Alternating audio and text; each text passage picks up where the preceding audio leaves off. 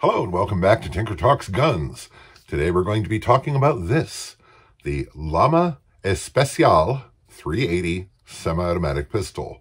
Before we get into that, I'd like to shout out to my Patreon supporters.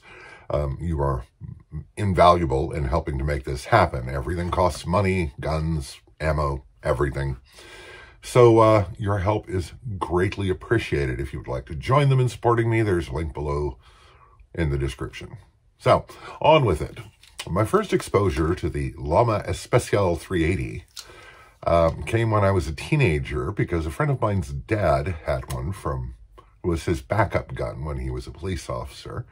And it was the first semi-automatic pistol I ever got to examine in reasonable detail and actually figure out how they work. Because before that, it was, you know, all kind of a mystery to me.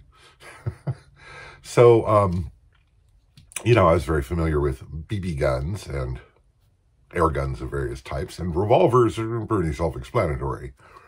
But the whole slide moving back and forth, picking up cartridges, and, you know, all that stuff was new to me. So, the Llama Especial was introduced in 1956, and um, it is a 7 8 scale, 1911, with very few exceptions, uh, chamber for 380 ACP, and these were reasonably popular.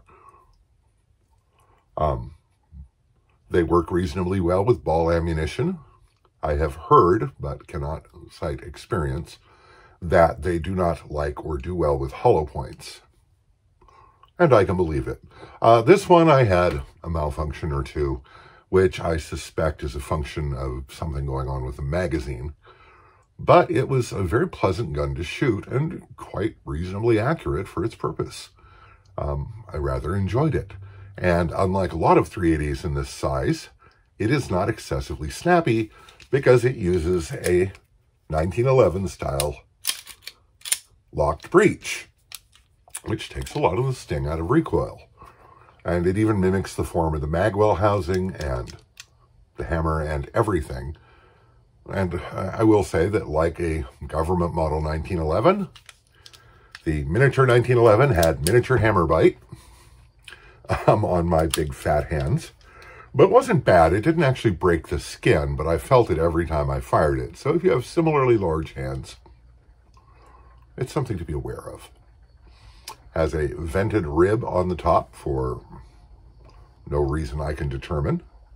Uh, sights are decent for a what it is, which is a small concealed carry pistol, and I had no trouble attaining uh, acceptable accuracy with it. So let's go to the tabletop and see just how much of a miniature 1911 this is. The Llama Especial is really quite petite. It's about four and a half inches tall and about six and a half inches long. It is, of course, heavy because it's a steel frame gun, because that's how they rolled in 1954. Um, everything operates exactly as you would expect on a 1911. Magazine holds seven rounds, so you have a seven plus one capacity. The trigger is single action.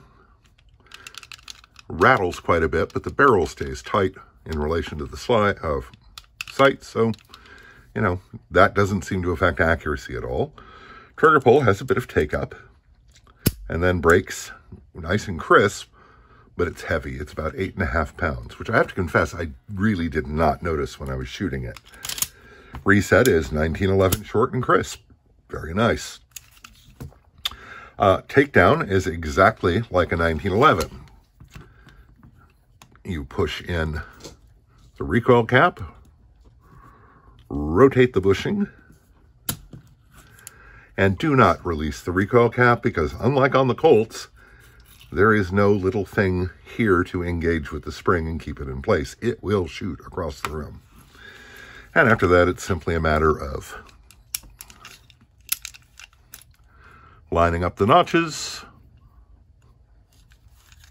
popping out the slide stop, and running the slide forward off the frame. And you can see it has the partial recoil guide rod, very like a conventional 1911. It has, let's remove the bushing, which removes like a 1911. And you can see they actually even kept the falling link mechanism and dual locking lugs of the 1911. And um, it does have one little difference on reassembly than the 1911, which is that you don't want this spring coming off the guide rod when you reassemble it, because if you do, the guide rod will tilt and the spring will go next to it instead of over it, and you'll get the gun back together and everything will be jammed up solid. Oh, and you do want to put the bushing on before you insert that because it will make life difficult if you don't have the bushing in place. So,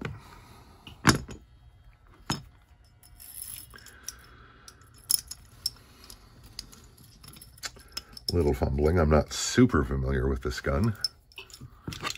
And let's push this back on. Get everything lined up nicely. Insert the slide stop. Get it back in place without producing the dummy mark on the frame. And then reinsert the recoil plug. Now, again, be careful. This will launch itself. Uh, and it will and it will launch itself a surprising distance. And I'm going to use a pin to push this down far enough because that seems to work better. There we go. And we are back up and running. I will say that one of the things that they did not miniaturize much was this safety because it's a nice handy size and it's a great place to put your thumb, just like on the 1911, when you're ready to go. The grips are just walnut checkered nice enough. Nothing special or fancy. And I have to say the overall fit and finish and build quality of this particular gun is quite good. Uh, really nothing lacking there. So it's a nice little gun, very pleasant to fire, and um, quite accurate for what it is.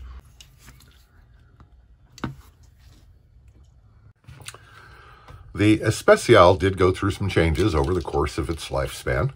Um, after the Gun Control Act of 1968, they had to replace the nice grips with target grips. Anyway, um, production was discontinued in 1996. And in 1997, they reintroduced it with an ambidextrous safety and niftier plastic grips and called it the Mini Max. And these were imported by Stoeger.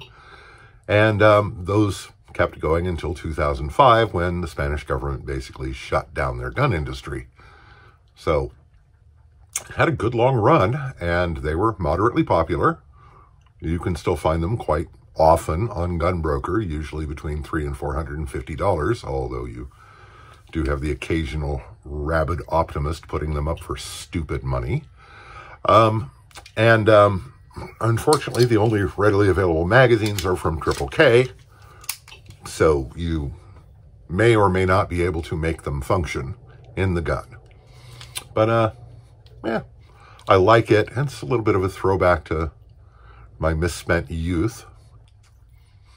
So, if you liked the video, and if you're still watching, I suspect you did, please hit like. It helps YouTube know that people are watching so that they'll spread my video around and more people will see them, and that helps the channel. So, hope this finds you well. Stay safe. Take care, and we'll talk to you again real soon.